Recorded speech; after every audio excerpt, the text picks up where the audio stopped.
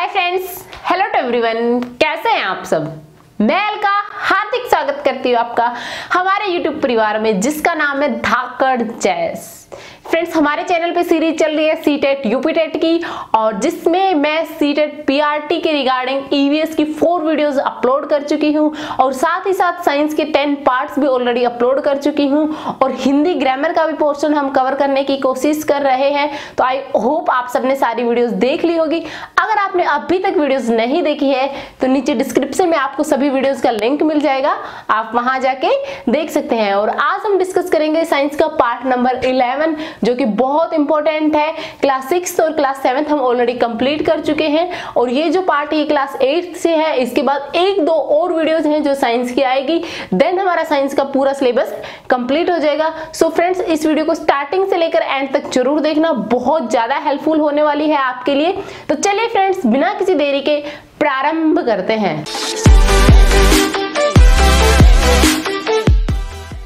हज़ारों अंडे देती है। और देखिए, छत्ते में सिर्फ़ एक ही रानी मधुमक्खी होती है। नेक्स्ट है कि निषेचित अंडे से मादा बनती है। जो एग फर्टिलाइज हो जाते हैं, उनसे क्या बनती है? मादा बनती है। और जो फर्टिलाइज नहीं होते, यानी जो अनिषेचित अंडे होते हैं उससे क्या बनते हैं? नर बनते हैं, जो कि ड्रोन कहलाते हैं। क्या कहलाते हैं? ड्रोन कहलाते हैं। और इन कर्मी मक्षिकाओं का काम होता है कि वह अंडों के उष्मान हेतु छत्ते का ताप 35 डिग्री सेल्सियस बनाए रखी देखिए, इसमें क्या था कि एक छत्ते में एक ही रानी मधुमक्खी होती है और वो हज़ारों की तादाद में क्या करती है? अंडे देती है।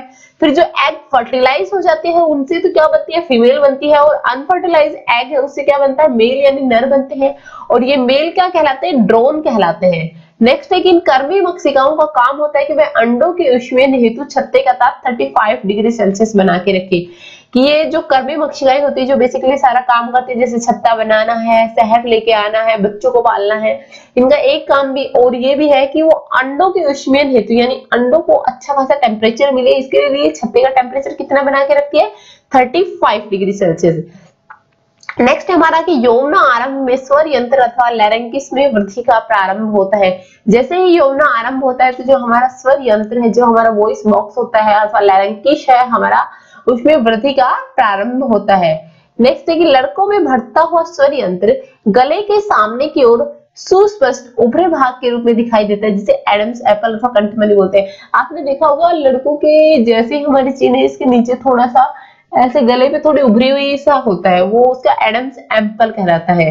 एप्पल कहलाता है सॉरी नेक्स्ट है कि यौन आरंभ के साथ जो वर्षन है, वो पोस्ट हार्मोन टेस्टोस्टेरोन यानी मेल्स में जो हार्मोन रिलीज़ होता है, वो होता है टेस्टोस्टेरोन होता है, और वही जो लेडीज़ में जो अंडाशय होता है, जो ओवरी होती है, वो फीमेल हार्मोन है, और नाम है एस्ट्रोजन का रिलीज़ करता है, और एस्ट्रोजन बेसिकली क्या करता है कि इससे जो ब्रेस्ट होती है, वो अच्छी खासी डेवलप हो जाती है। तो मेल्स में तो कौन सा हार्मोन रिलीज़ होता है? टेस्टोस्टेरोन होता है लेडीज़ में कौन सा होता है? एस्ट्रोजन होता है। नेक्स्ट कि इन सभी हार्मोन के उत्पादनों का नियंत्रण। देखिए, जितने भी हार्मोन हमारी बॉडी में रिलीज़ होते हैं, उनका नियंत्रण भी किया जाता है और किसके द्वारा किया जाता है?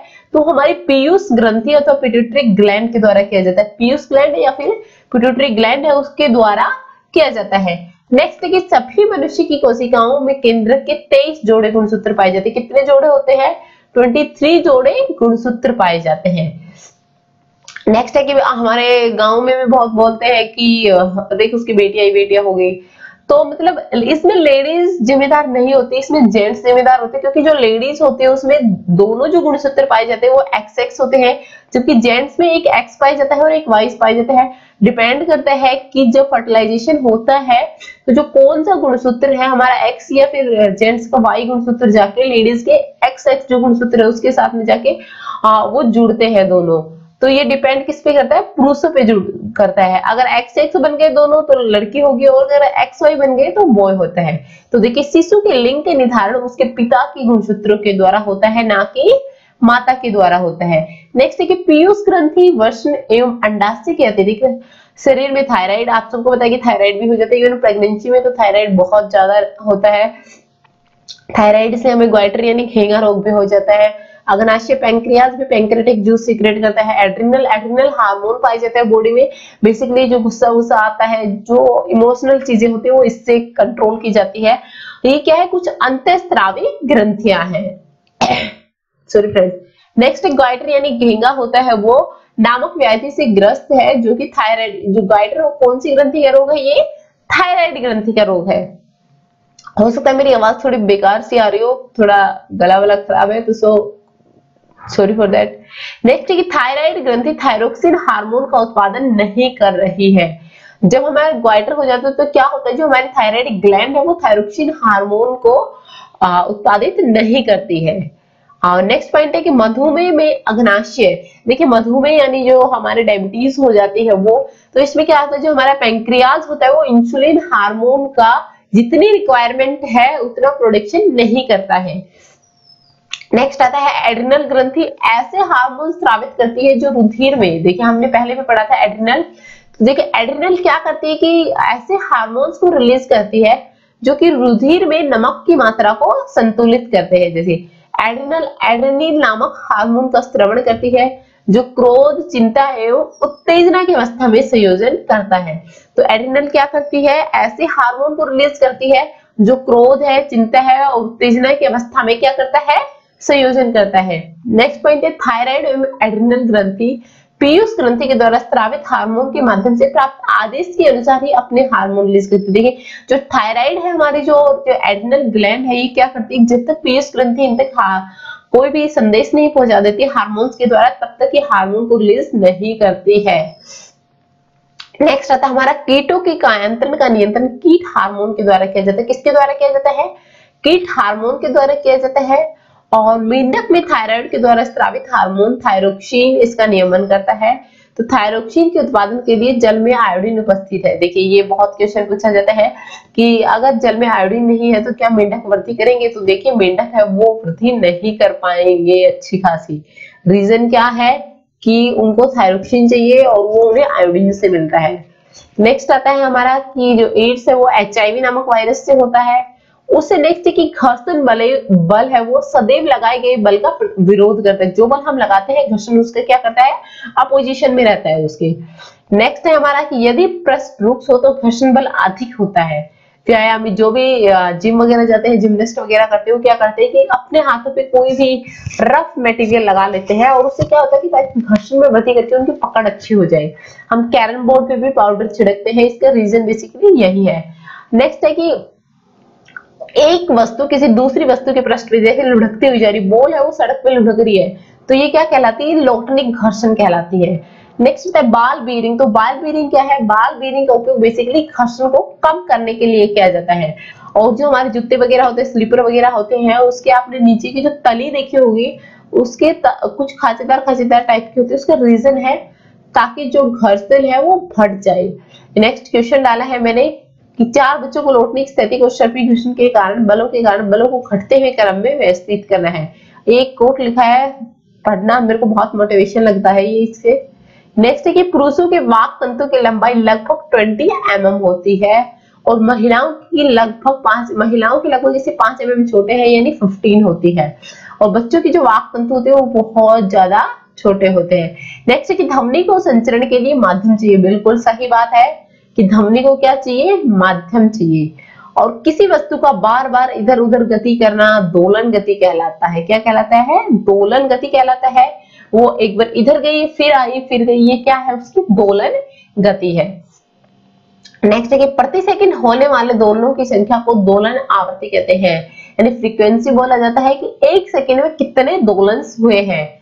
आवृत्ति को किससे मापा जाता है? हर्टज में मापा जाता है। और नेक्स्ट है कि हर्टज आवृत्ति एक दोलन प्रति सेकंड के बराबर होती है। और उससे नेक्स्ट है, ये भी काफ़ी रिपीटेड क्वेश्चन है, दोनों पॉइंट्स ही नेक्स्ट है कि ध्वनि की प्रबलता, ध्वनि उत्पन्न करने वाले कंपनों के जो आयाम है, उसके समानुपातिक होती है। नेक्स्ट है कि यदि आयाम दुगना है तो प्रबलता चार गुणक बढ़ जाएगी और प्रबलता को किसमें मापते हैं? डेसिबल में मापते हैं। नेक्स्ट है कि अगर कंपन की आवृत्ति अधिक है तो ध्वनि कैसी होती है? हमारी तीखी होती है। और अगर कंपन की आवृत्ति कम है तो ध्वनि कैसी होती है, उसका तारतव भी कम होता है। नेक्स्ट बहुत इंपॉर्टेंट है, ये भी काफ़ी बार रिपीटेड है कि पक्षी उच्च तारतव की ध्वनि उत्पन्न करते हैं, जबकि जो हमारा शेर है, उसका दहाड़ का तारतव कैसा होता है? बहुत कम होता है। और तथापि शेर की दहाड़ अत्यधिक प्रबल है, और जबकि पक्षी की ध्वनि क्या होती है? दुर्बल होती है। फिर कुछ फ्रीक्वेंसी रेंज होती है। हमारी कि किस रेंज से किस रेंज तक हम सुन सकते हैं। तो देखिए, हम सिर्फ़ 20 हर्ट्ज से 20000 किलो हर्ट्ज तक का हम सुन सकते हैं। बिलो 20 हर्ट्ज हम नहीं सुन सकते और 20000 हर्ट्ज से ऊपर भी हम नहीं सुन सकते हैं। अभी देखिए, जो 20000 से ऊपर होता है, उसको बोलते हैं, पैरासोनिक बोलते हैं प्राश्रव्य बोलते हैं और ये देखिए, इसको बेसिकली कुछ जंतु ही सुन पाते जैसे कुत्ते में यह क्षमता पाई जाती है। नेक्स्ट है कि हम एलईडी यूज़ करते हैं अपने घरों में लाइट इमिटिंग डायोड बोला जाता है। तो इसके बारे में पढ़ते हैं कि किसी प्रीपथ में जोड़ते इसमें इसके लंबे तार को सदैव, देखिए इसको जो लंबा तार है, उसको तो बैटरी के किसके साथ जोड़ेंगे? नेगेटिव पॉजिटिव टर्मिनल के साथ और छोटे तार को नेगेटिव टर्मिनल के साथ। फिर कॉपर सल्फेट का आता है। तो उसमें क्या करती है? एक्सपेरिमेंट टाइप का है कि कॉपर सल्फेट लिया, उसमें विद्युत धारा प्रभावित की तो जो कॉपर सल्फेट है, वो कॉपर और सल्फेट में डिवाइड हो गया। और जो फ्रीली कॉपर था, वो बैटरी के जो नेगेटिव टर्मिनल है, उस पर जाके संयोजित हो जाता है। नेक्स्ट है कि सीएफएल और एलईडी में से बेटर कौन सा है? तो देखिए सीएफएल में बेसिकली क्या होता है? पारा होता है, जो कि मनुष्य के लिए हानिकारक है। इसलिए जो एलईडी है, वो बेटर देन सीएफएल है। और नेक्स्ट पॉइंट है हमारा कि बादलों के ऊपरी किनारे के निकट तो धनावेश होते हैं और ऋणावेश उनके निचली किनारे पर संचलित होते हैं। नेक्स्ट आता है कि पृथ्वी के भीतर के सबसे ऊपरी स्तर की गहराई की गड़बड़ के कारण भू संपद आते हैं और पृथ्वी के इस प्रत को क्या कहते हैं? भू परपटी कहते हैं। देखिए, कुछ इसके पॉइंट्स है, भू परपटी, प्रावार, बाह्य क्रोड और आंतरिक क्रोड है और इनके बीच में भी संबंध होता है, उसको गुटेनबर्ग शायद आई थिंक भू परपटी और प्रावार में गुटेनबर्ग है प्रॉपर मुझे याद नहीं है। वैसे एसएससी में आता है ये। तो देखिए, ये आंतरिक, ये इसके चार कृत्स है और अधिक विनाशकारी भूकंप को किस पे मापा जाता है। रिएक्टर पैमाने पर सात से भी ज़्यादा होते हैं। जो रिएक्टर पैमाने पर अगर सात से भी ज़्यादा का भूकंप आता है। जैसे हमारे कच्छ गुजरात में आया था भुज गुजरात में आया था सॉरी तो वो सात से भी ज़्यादा का भूकंप था। तो ये बहुत ज़्यादा विनाशकारी होते हैं। नेक्स्ट है हमारा केंद्रीय भवन अनुसंधान संस्थान कहाँ है? रुड़की में स्थित है। और ये फिर क्वेश्चन दिया हुआ है इसके आंसर है नेक्स्ट फिर से क्वेश्चन दिया है और उसके आंसर है। और ये देखिए ये मेरे खुद की क्योट से जो मैं लिखती हूँ जो मोटिवेशन मुझे करते हैं। उम्मीद करती हूँ कि दोस्तों आपको वीडियो अच्छी लगी होगी। अगर वीडियो अच्छी लगी तो वीडियो को लाइक करना, वीडियो को शेयर करना और अपने उन सभी फ्रेंड्स के साथ तो ज़रूर शेयर करना जो कोई भी टेट का एग्ज़ाम है, चाहे सी टेट हो, चाहे यूपी टेट हो या फिर हरियाणा टेट हो, किसी की भी प्रिपरेशन कर रहे हैं इवन डी ट्रिपल एस भी और केवीएस में भी ये वीडियो बहुत ज़्यादा हेल्पफुल रहेगी। और अगर आपने अभी तक चैनल को सब्सक्राइब नहीं किया है तो please subscribe the channel and also press the bell icon ताकि आने वाली वीडियो का नोटिफिकेशन मिले।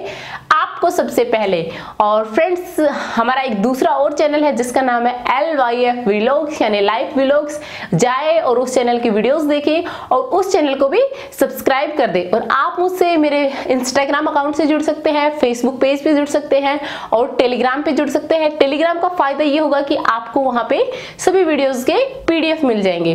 तो फ्रेंड्स आज के लिए बस इतना ही। मिलते हैं नई वीडियो में। तब के लिए जय हिंद, जय भारत, जय हरियाणा। बेटी बचाओ, बेटी पढ़ाओ, बेटियों को आगे बढ़ाओ।